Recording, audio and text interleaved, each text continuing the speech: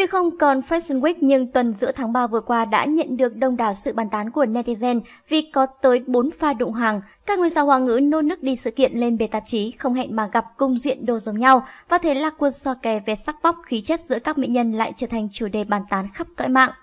Thứ nhất, triệu Lệ Dĩnh, Cao Viên Viên Mẫu váy đỏ cổ vuông này được tới hai nàng mỹ nhân yêu ái là Triệu Lệ Dĩnh và Cao Viên Viên. Cả hai cùng chọn phong cách tối giản sang trọng làm điểm nhấn khi diện thiết kế này.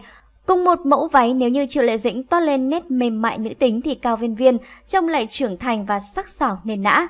Sở dĩ có sự khác biệt này là bởi ngũ quan lẫn cách làm tóc của hai nàng khác nhau. Xét về gương mặt Triệu Lệ Dĩnh với cặp má bánh bao nhìn trẻ trung và đáng yêu, kết hợp với tóc xoăn bồng bềnh lại càng nữ tính. Còn Cao Viên Viên sở hữu khuôn mặt góc cạnh hơn, để tóc thẳng xõa nhẹ nên nhìn sẽ nền nã và mạnh mẽ hơn hẳn. Thứ hai, Ngô Thư Hân, Chu Khiết Quỳnh đây là pha đụng váy đen của David Koma, Số đông netizen đã vote cho Ngô Thư Hân chiến thắng. Sang chảnh, quyến rũ và rất thần thái, Ngô Thư Hân đẹp đẹp Chu Khiết Quỳnh nhờ thân hình quyến rũ với tạo hình tóc tai make up nổi bật hơn hẳn. Công diện một mẫu váy Chu Khiết Quỳnh chọn style đơn giản và nhạt nhòa hơn hẳn Ngô Thư Hân. Cô chỉ duỗi tóc thẳng và trang điểm nhạt nên trông có phần thiếu điểm nhấn.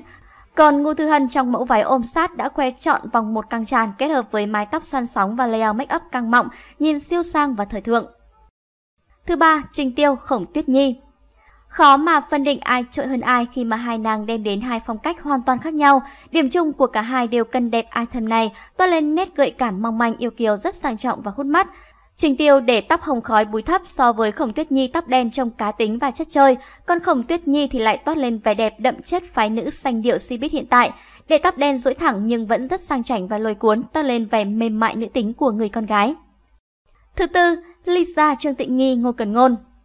Set đồ thể thao của Celine được tới 3 nàng mỹ nhân chọn lựa. Đại sứ Lisa, người tối giản nhất lại là người nổi bật nhất với tỷ lệ body và thần thái tuyệt đỉnh. Hai nàng mỹ nhân Cbiz cầu kỳ về mặt phụ kiện tóc tai hơn, nhưng so về độ sang vẫn kém Lisa. Ngô Cẩn Ngôn để tóc duỗi thẳng, đeo găng tay và đội mũ kết hợp với make up cá tính lấy tông son trầm làm điểm nhấn. Trương Tịnh Nghi chắc có lẽ là người lép vế nhất trong pha đụng hàng này vì cô make up nhạt không quá nổi bật và kể cả có make thêm áo khoác thì bộ đồ này qua tay Trương Tịnh Nghi cũng không có quá nhiều khác biệt. Các bạn có những suy nghĩ gì về những thông tin trên? Hãy để lại bình luận xuống bên dưới video nhé. Và bây giờ thì Thu Hằng phải nói lời chào tạm biệt với các bạn đây. Xin chào và hẹn gặp lại các bạn trong những video tiếp theo.